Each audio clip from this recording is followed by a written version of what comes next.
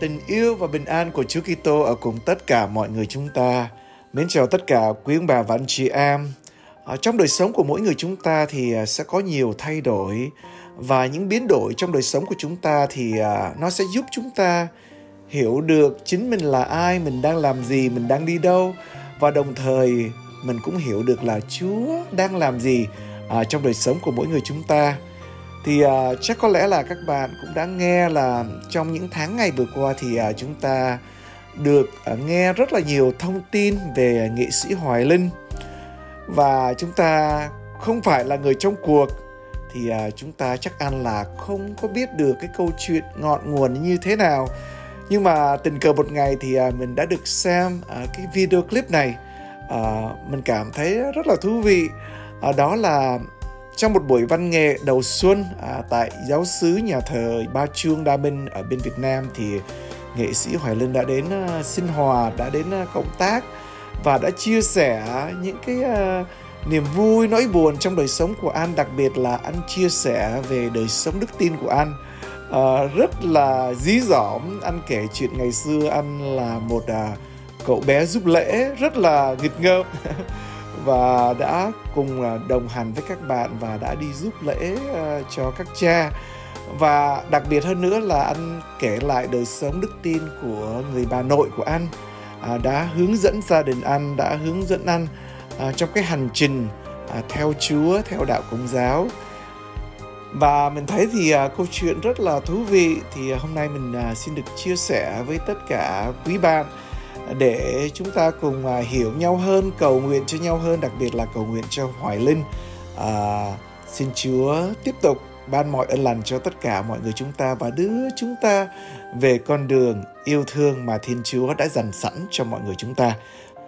Và sau đây à, kính mời quý bạn à, theo dõi cái câu chuyện về đức tin của nghệ sĩ hoài linh.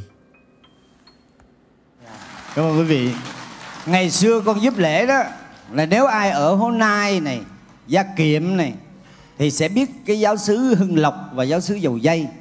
Và ngày xưa là con là giúp lễ ba nhà thờ Hưng Lộc Dầu Dây và Ngô Quyền. Hồi xưa con mà giúp lễ nha mấy anh nhóc nhóc mà ngang ngang với mình ai mà con ghét rồi á, là khi mà đưa cái dĩa và hứng bánh thánh là con cứa một cái đâu có ai dám làm mình gì mình tại mình đang đứng trên cung thánh mà đâu có ai dám làm gì mình. Tự đi sai. mà bắn bi mà hơn con là con bắt đầu con đưa vô con cứa cái nhẹ nhưng mà nói thực sự là không có ai phá bằng giúp lễ tại được cha bảo kê mà. Cho nên là à, con được à, hướng đạo bởi một người đó là Ờ, bà là đạo theo, nhưng mà bà con rất là tin Chúa một cách trọn vẹn. Cả một cuộc sống của bà dành trọn một cái niềm tin tuyệt đối cho Thiên Chúa, đó là bà nội con. Và bà đã dẫn con từ hồi nhỏ xíu vậy, đi lễ mà hồi đó khổ lắm. Đi kinh tế mới mà bà dẫn đi lễ là đi bộ cứ 4 5 giờ sáng là bắt đầu hai mấy bà cháu dắt nhau đi bộ lên Hương Lộc, dắt nhau đi bộ vô dầu dây, dắt nhau đi bộ vô Ngô Quyền đâu có đi xe được và cũng không có xe để đi. Đó, mà cái thời điểm đó là rất là vui. Được dành nhau để được giật cái chuông nhà thờ thôi mà cũng phải dành nhau. Hôm nay tôi, ngày mai anh. Không, bữa nay cho em đi, ngày mai rồi anh. Là giật cái chuông thôi. Mà hồi đó ốm như con nhái, mà sáng đu lên để dựng được cái chuông nhà thờ chứ dạ, bây giờ mà, thì chứ con ớt. nếu mà lúc đó mà cái chuông mà nó nặng thêm khoảng chừng hai chục ký nữa thôi là con đu là nó kéo con lên trên luôn đó. Nhưng mà cũng ráng nhưng mà tại vì lúc đó rất vui lắm.